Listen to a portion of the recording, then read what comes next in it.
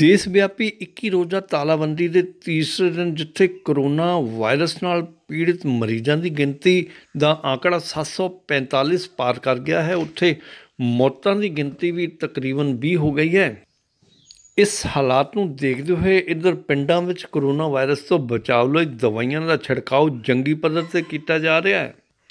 ਇਸੇ ਸਬੰਧ ਵਿੱਚ ਪਿੰਡ ਨਰੂੜ ਵਿਖੇ ਸਰਪੰਚ ਸੁਰਜੀਤ ਸਿੰਘ ਜਸਵਾਲ ਦੀ ਅਗਵਾਈ ਹੇਠ ਕਰੋਨਾ ਵਾਇਰਸ ਦੀ ਰੋਕਥਾਮ ਲਈ ਨੌਜਵਾਨਾਂ ਵੱਲੋਂ ਸੈਨੇਟਾਈਜ਼ਰ ਦਾ ਛਿੜਕਾਓ ਕੀਤਾ ਗਿਆ। ਇਸ ਸੰਬੰਧੀ ਜਾਣਕਾਰੀ ਦਿੰਦੇ ਸਰਪੰਚ ਸੁਰਜੀਤ ਸਿੰਘ ਜਸਵਾਲ ਨੇ ਦੱਸਿਆ ਕਿ ਪਿੰਡੂ ਵਿਕਾਸ ਅਤੇ ਪੰਚਾਇਤ ਵਿਭਾਗ ਵੱਲੋਂ 40 ਕਿਲੋ ਛਿੜਕਾਓ ਦੀ ਦਵਾਈਆਂ ਦਿੱਤੀਆਂ ਗਈਆਂ ਸਨ, ਜਿਸ ਦਾ ਛਿੜਕਾਓ ਸਾਰੇ ਪਿੰਡ ਵਿੱਚ ਘਰ ਘਰ ਅਤੇ ਹਰ ਗਲੀ ਵਿੱਚ ਕੀਤਾ ਗਿਆ। ਇਸ ਦੇ ਨਾਲ ਹੀ ਪਿੰਡ ਵਾਸੀਆਂ ਨੂੰ ਕੋਰੋਨਾ ਵਾਇਰਸ ਸੰਬੰਧੀ ਜਾਗਰੂਕਤਾ ਪੈਦਾ ਕਰਦੇ ਹੋਏ ਘਰੋਂ ਬਾਹਰ ਨਾ ਜਾਣ ਅਤੇ ਆਪਣੇ ਹੱਥਾਂ ਨੂੰ ਧੋਣ, ਮੂੰਹ ਤੇ ਮਾਸਕ ਲਗਾਉਣ ਅਤੇ ਹੋਰ ਜ਼ਰੂਰੀ ਸਾਵਧਾਨੀਆਂ ਵਰਤਣ ਲਈ ਦੱਸਿਆ ਗਿਆ। ਇਸ ਮੌਕੇ ਜਸਦੀਪ ਸਿੰਘ, ਕਰਨਦੀਪ ਸਿੰਘ, ਰਿਪਨਜੋਤ ਸਿੰਘ, ਹਰਮਨਜੋਤ ਸਿੰਘ, ਜਸਕਰਨ ਸਿੰਘ, ਸਤਨਾਮ ਸਿੰਘ, ਗੁਰਪ੍ਰੀਤ ਸਿੰਘ ਅਤੇ ਰਾਜਾ ਆਦ ਹਾਜ਼ਰ ਸਨ। ਇਹ ਨਰੂੜ ਪਿੰਡ ਦੇ ਵਿੱਚ ਜੋ ਕਿ ਸਾਨੂੰ ਵੀਡੀਓ ਦਫ਼ਤਰ ਤੋਂ ਦਵਾਈ ਮਿਲੀ ਆ। ਉਹ ਅੱਜ ਅਸੀਂ ਸਪਰੇਅ ਕਰਾ ਰਹੇ ਹਾਂ, ਨੌਜਵਾਨ ਕਰ ਰਹੇ ਆ ਜੀ। ਜਿੱਦਾਂ ਗੇਟ ਦੇ ਉੱਤੇ ਹੈਂਡਲ ਨਾਲ ਬਾਰ-ਬਾਰ ਹੱਥ ਲੱਗਦੇ ਆ, ਜਾਂ ਜਿੱਥੇ ਕੋਈ ਜ਼ਿਆਦਾ ਬੰਦੇ ਇਕੱਠੇ ਜਿੱਦਾਂ ਕੁਰਸੀ ਤੇ ਬਹਿ ਜਾਣਾ। ਇਹ ਸਾਰਾ ਇਹ ਪਿੰਡ ਦੇ ਵਿੱਚ ਸਾਰੇ ਜਿੱਦਾਂ ਬਾਹਰ ਕੋਈ ਡੇਰੇ ਵੀ ਹੈਗੇ, ਉਹਨਾਂ ਦੇ ਉੱਤੇ ਵੀ ਕੀਤੀ ਜਾਊਗੀ। ਬਾਕੀ ਇਹਨਾਂ ਨੂੰ ਜਾਗਰਤ ਕਰਦੇ ਆ ਜੀ ਲੋਕਾਂ ਨੂੰ ਕਿ ਘਰਾਂ ਦੇ ਵਿੱਚ ਰਹਿਣ। ਇਹਦੇ ਵਿੱਚ ਹੀ ਭਲਾ ਜੀ। ਬਿਮਾਰੀ ਤੋਂ ਬਚਿਆ ਜਾ ਸਕੇ। ਜਿਹੜਾ ਇਹ ਜੀ ਸਾਨੂੰ ਸਰਪੰਚਾਂ ਨੂੰ ਆਈਆਂ ਪਈ ਤੁਸੀਂ ਲਿਸਟ ਬਣਾਓ ਜਿਹੜੇ ਕਿ ਬਿਲਕੁਲ ਵਾਕਈ ਗਰੀਬ ਬੰਦੇ ਆ ਜਿਹੜਾ ਕਿ ਮਤਲਬ ਦਿਹਾੜੀ ਕਰਕੇ ਰੋਟੀ ਖਾਂਦੇ ਆ। ਇਹ ਉਹ ਅਸੀਂ ਬਣਾਉਣ ਜਾ ਰਹੇ ਹਾਂ ਜੀ। ਬਾਕੀ ਸਾਡੇ ਜੋ ਬਿਹਾਰੀ ਵੀ ਆਏ ਪ੍ਰਦੇਸ਼ ਉਹ ਉਹਨਾਂ ਨੂੰ ਵੀ ਕਰਕੇ ਤਾਂ ਸਾਰਾ ਜੋ ਵੀ ਉਹਨਾਂ ਨੂੰ ਜਿੰਨੇ ਮੈਂਬਰ ਹੈਗੇ ਉਸ ਹਿਸਾਬ ਨਾਲ ਉਹਨਾਂ ਨੂੰ ਰਾਸ਼ਨ ਮਿਲੂਗਾ ਜੀ। ਅੱਛਾ ਜਿਹੜਾ ਦਵਾਈਆਂ ਦਾ ਸਿਸਟਮ ਕੀ ਹੈ ਇਹ ਕਿੰਨੇ ਦਵਾਈਆਂ? ਜਿੱਦਾਂ ਕੋਈ ਬੰਦਾ ਬਿਮਾਰ ਹੋ ਜਾਂਦਾ ਜਾਂ ਕਿਸ ਤਰੀਕੇ ਦਾ? ਦਵਾਈਆਂ ਦਾ ਤਾਂ ਇਹ ਹੈ ਜੀ ਵੀ ਆਪਣਾ ਚੈੱਕਅਪ ਕਰਾਓ ਨੇੜੇ ਦੇ ਹਸਪਤਾਲ ਜਾ ਕੇ ਜੋ ਵੀ ਹੈਗਾ। ਆਪਣੇ ਪਿੰਡ ਵਿੱਚ ਕੋਈ ਇਦਾਂ ਦਾ ਪ੍ਰਬੰਧ? ਅਹ ਪਿੰਡ 'ਚ ਫਿਲਹਾਲ ਤਾਂ ਕੋਈ ਨਹੀਂ ਵੈਸੇ ਇੱਥੇ ਟੀਮਾਂ ਆਈ ਜਾਂਦੀਆਂ ਜੀ ਬਾਰ-ਬਾਰ ਜਿਹੜੇ ਬੰਦੇ ਸਾਡੇ ਐਨ ਆਰ ਆਈ ਬਾਹਰੋਂ ਆਏ ਆ ਉਹਨਾਂ ਨੂੰ ਪੁੱਛਦੇ ਆ ਵੀ ਕਿਦਾਂ ਤੁਹਾਡਾ ਸਿਹਤ ਠੀਕ ਆ। ਲੋਕਾਂ ਨੂੰ ਘਰਾਂ 'ਚ ਦੁੱਧ ਸਬਜ਼ੀਆਂ ਦਾ ਇਹ ਘਾਟ ਤਾਂ ਨਹੀਂ ਕੋਈ? ਅ, ਹਾਂਜੀ ਸਬਜ਼ੀ ਲਿਆ ਅੱਜ ਅਸੀਂ ਦੋ ਇੱਥੋਂ ਮੈਂ ਦਿੱਤੇ ਆ ਜੀ। ਜਿਹੜੇ ਕਿ ਉਹ 3 ਘੰਟੇ ਦੇ ਵਿੱਚ ਆਪਣੀ ਰੇਹੜੀ ਦਾ ਫੇਰਾ ਲਾ ਕੇ ਉਹਨਾਂ ਦੇ ਫੋਨ ਨੰਬਰ ਦੇਤੇ ਆ ਜੀ।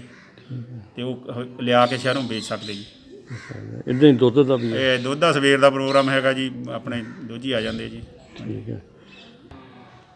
ਬਾਕੀ ਜੀ ਜੇ ਕਿਸੇ ਨੂੰ ਕੋਈ ਤਕਲੀਫ ਆ ਜਾਂ ਕੋਈ ਸਿਹਤ ਬਾਰੇ ਜਾਂ ਕੋਈ ਖਾਣ ਪੀਣ ਬਾਰੇ ਉਹ ਸਾਡੇ ਨਾਲ ਲਿੰਕ ਕਰ ਸਕਦਾ ਜੀ। ਮੇਰੇ ਨਾਲ ਲਿੰਕ ਕਰ ਸਕਦਾ ਮੇਰੇ ਕਿਸੇ ਪੰਚਾਇਤ ਮੈਂਬਰ ਨੂੰ ਵੀ ਦੱਸ ਸਕਦਾ। ਆਪਾਂ ਉਹਦਾ ਜ਼ਰੂਰ ਹੱਲ ਕਰਾਂਗੇ ਜੀ। ਪਿੰਡਾਂ ਵਿੱਚ ਕਰੋਨਾ ਵਾਇਰਸ ਦੀ ਰੋਕਥਾਮ ਲਈ ਵਿਦੇਸ਼ਾਂ ਤੋਂ ਆਏ ਐਨ ਆਰ ਆਈ ਲੋਕਾਂ ਤੇ ਵੀ ਪ੍ਰਸ਼ਾਸਨ ਵੱਲੋਂ ਨਜ਼ਰਸ਼ਾਨੀ ਕੀਤੀ ਜਾ ਰਹੀ ਹੈ।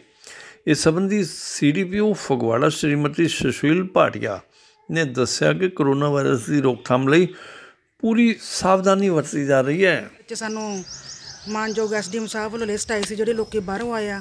ਅਸੀਂ ਡੋਰ ਟੂ ਡੋਰ ਜਾ ਕੇ ਉਹਨਾਂ ਨੂੰ ਟਰੇਸ ਕਰ ਰਹੇ ਆ ਇਸ ਵੇਲੇ ਅਸੀਂ ਨਰੂੜ ਦੇ ਪਿੰਡ ਦੇ ਵਿੱਚ ਆਏ ਆ ਤੇ ਇਹਦੇ ਵਿੱਚ ਦੋ ਤਿੰਨ ਬੰਦਿਆਂ ਦੀ ਸਾਨੂੰ ਲਿਸਟ ਆਈ ਆ, ਅਸੀਂ ਉਹਨਾਂ ਨੂੰ ਟਰੇਸ ਕਰਕੇ ਐਸਡੀਐਮ ਸਾਹਿਬ ਨੂੰ ਸਪੁਰਦ ਕਰਾਂਗੇ। ਤੇ ਪੂਰਨ ਕਰਫਿਊ ਲਾਗੂ ਹੈਗਾ ਕੋਈ ਵੀ ਨਹੀਂ ਸਾਨੂੰ ਬਾਹਰ ਦਿਸਿਆ ਸਭ ਦੁਕਾਨਾਂ ਬੰਦ ਹੈ ਤੇ ਸਾਨੂੰ ਉਮੀਦ ਹੈ ਵੀ ਅਸੀਂ ਇਸ ਜਿਹੜੀ ਕਰੋਨਾ ਬਿਮਾਰੀ ਨੂੰ ਆਪਣੇ ਦੇਸ਼ ਚੋਂ ਕੱਢਣ ਦੀ 100% ਕੋਸ਼ਿਸ਼ ਕਰਾਂਗੇ। ਮੈਸੇਜ ਇਹੀ ਆ ਵੀ ਲੋਕੀ ਇਹਨੂੰ ਥੋੜਾ ਜਿਹਾ ਐਵੇਂ ਹੀ ਨਾ ਲੈਣ, ਇਹ ਬਹੁਤ ਭਿਆਨਕ ਬਿਮਾਰੀ ਆ ਤੇ ਸਾਡੀ ਸਾਰੀ ਐਡਮਿਨਿਸਟ੍ਰੇਸ਼ਨ ਵੱਲੋਂ ਆਮ ਪਬਲਿਕ ਨੂੰ ਗੁਜ਼ਾਰਿਸ਼ ਹੈ ਵੀ ਉਹ ਆਪੋ ਆਪਣੇ ਘਰਾਂ ਵਿੱਚ ਰਹਿਣ। 20 22 ਦਿਨਾਂ ਦੀ ਗੱਲ ਆ, ਫਿਰ ਆਪਣੇ ਪਹਿਲੇ ਵਾਲੇ ਹਾਲਾਤ ਹੋ ਜਾਣਗੇ। ਇਹਨੂੰ ਮਾਮੂਲੀ ਨਾ ਸਮਝਣ ਇਹ ਬਹੁਤ ਭਿਆਨਕ ਬਿਮਾਰੀ ਹੈ ਤੇ ਇਹ ਤੋਂ ਗੁਰੇਜ਼ ਕਰਨ ਕਿਉਂਕਿ ਇਹਦਾ ਇਲਾਜ ਹੈ ਨਹੀਂ ਕੋਈ ਵੀ।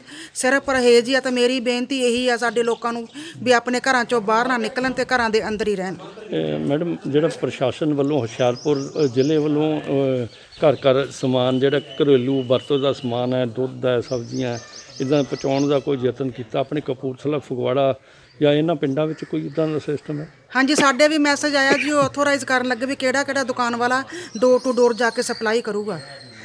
ਮਤਲਬ ਉਹਨਾਂ ਨੂੰ ਘਰਾਂ 'ਚ ਹਾਂਜੀ ਡੋਰ ਟੂ ਡੋਰ ਸਪਲਾਈ ਹੋ ਕਿਉਂਕਿ ਆਪਾਂ ਜੇ ਦੁਕਾਨਾਂ ਖੁੱਲਣ ਦਾ ਕਰ ਕਰਨੇ ਆ ਤਾਂ ਫਿਰ ਦੁਕਾਨਾਂ ਤੇ ਲੋਕਾਂ ਦੀ ਭੀੜ ਹੋ ਜਾਣੀ। ਜੇ ਜਿਹੜਾ ਮਸਲਾ ਆਪਾਂ ਹੱਲ ਕਰਨਾ ਉਹ ਮਸਲਾ ਫਿਰ ਉਸ ਤਰ੍ਹਾਂ ਹੀ ਸ਼ੁਰੂ ਹੋ ਜਾਣਾ। ਇਸ ਕਰਕੇ ਅਸੀਂ ਐਡਮਿਨਿਸਟ੍ਰੇਸ਼ਨ ਦੇ ਨਾਲ ਰਲ ਕੇ ਡੋਰ ਟੂ ਡੋਰ ਸਪਲਾਈ ਕਰਨ ਦੇ ਜੋ ਆਰਡਰ ਹੋਣਗੇ ਅਸੀਂ ਉਹਨਾਂ ਨੂੰ ਕਰਾਂਗੇ ਪੂਰਾ।